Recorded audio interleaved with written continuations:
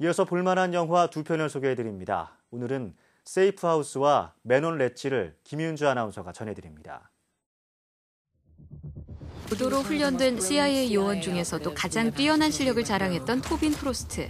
조국을 배신하고 CIA를 떠난 그는 군사 기밀과 무기를 밀매하면서 미국에서 가장 위험한 인물이 됩니다. 10년 동안 교묘하게 CIA의 수사망을 피해오던 토빈은 비밀을 간직한 채 자기 발로 미 영사관에 찾아와 다시 한번 CIA를 발칵 뒤집어 놓습니다.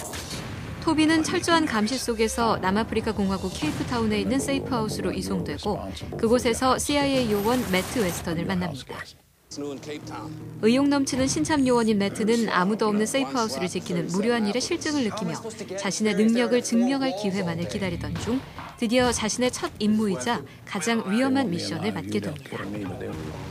토빈이 수감되자마자 알 수 없는 무리들이 세이프하우스를 초토화시켜 현장에 있던 동료 CIA 요원들은 모두 숨지고 홀로 살아남은 매트는 겨우 토빈을 데리고 세이프하우스를 탈출합니다.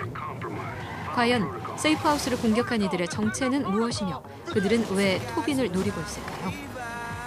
매트는 완전히 믿을 수도 없고 또한 결코 놓쳐서는 안 될 1급 범죄자 토빈과 위험한 줄다리기를 하며 거대한 음모에 맞섭니다. 전직 경찰 닉 캐서디는 억울한 죄로 누명을 쓰고 절박한 상황에 처합니다.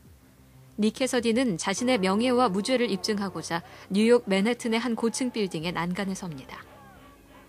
자살을 하려는 상황으로 본 경찰은 네고시에이터를 급히 투입하고 이 광경은 생방송으로 미국 전역에 방영되며 빌딩은 취재진과 인파로 휩싸이게 됩니다. 하지만 이것은 모두 닉이 꾸민 계획의 일부. 같은 시각 그의 결백을 입증하기 위한 작전들이 차례대로 시작됩니다. 동시다발의 상황에 작전을 이끌어가야 하는 닉에게는 시간이 부족하기만 합니다. 설상가상 네고시에이터의 의견을 무시한 특수 기동대 팀까지 움직이며 그를 긴급 체포하려 합니다. 볼만한 영화 김윤주였습니다.